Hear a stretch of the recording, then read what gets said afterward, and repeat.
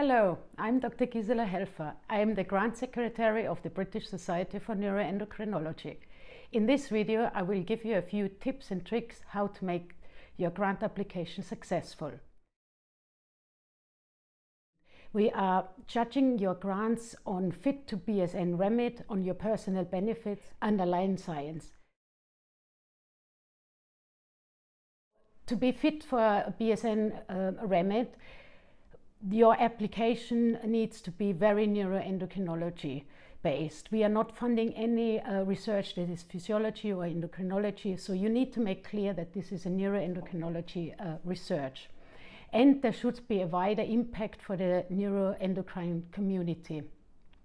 And we also are looking for your commitment to the BSN. So for example, have you been at past BSN meetings or have you uh, published in the Journal of Neuroendocrinology? This will be very beneficial for your application.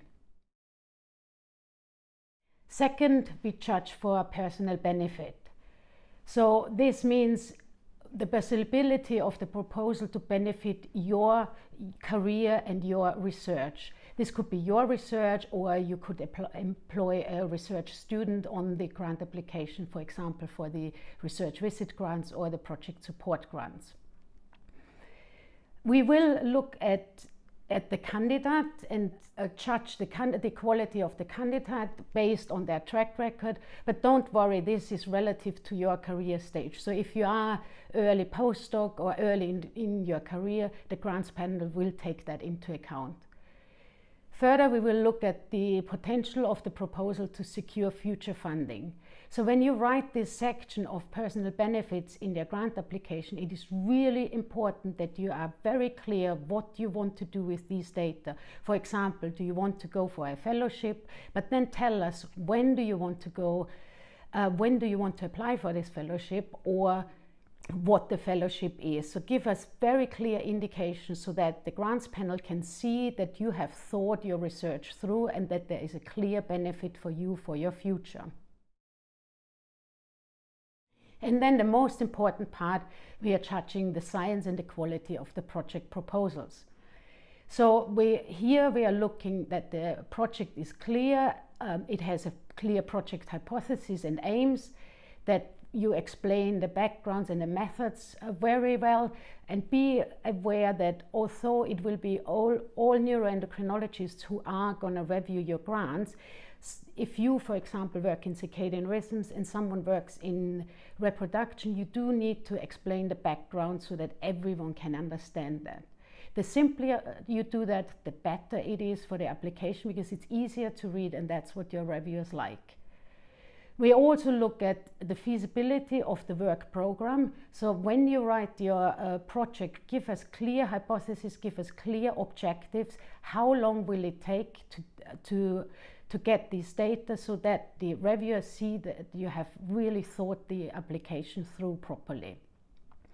And then for example, if you're planning to uh, gather pilot data with this uh, grant, make that very clear. Or if you think after, after the grant application you are ready for publication, so please make that very clear.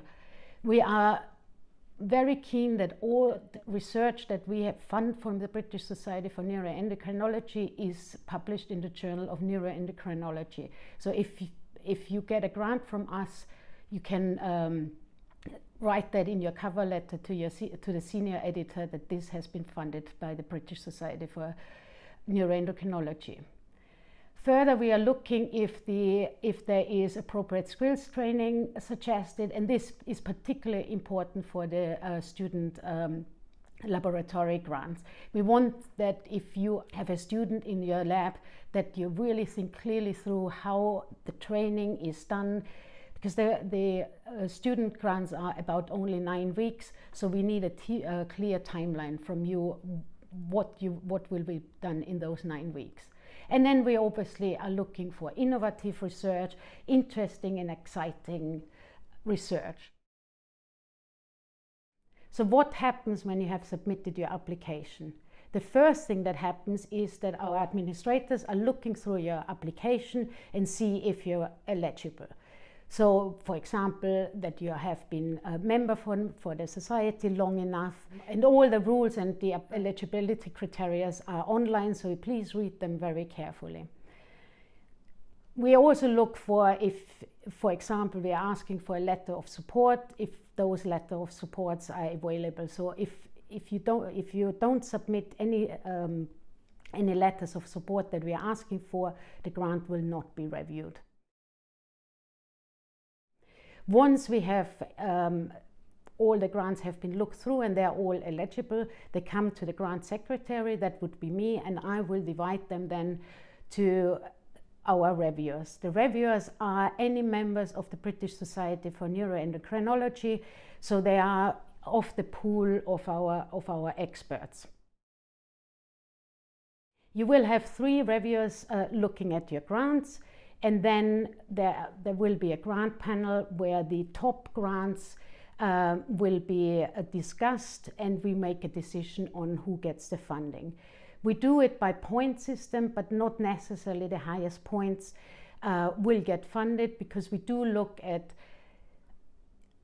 how much that grant helps the individual. So if your personal benefit section is extremely good and we see that the grant is of high benefit for you, then it is more likely that you get the grant funded than if the personal benefit section is, um, is weaker.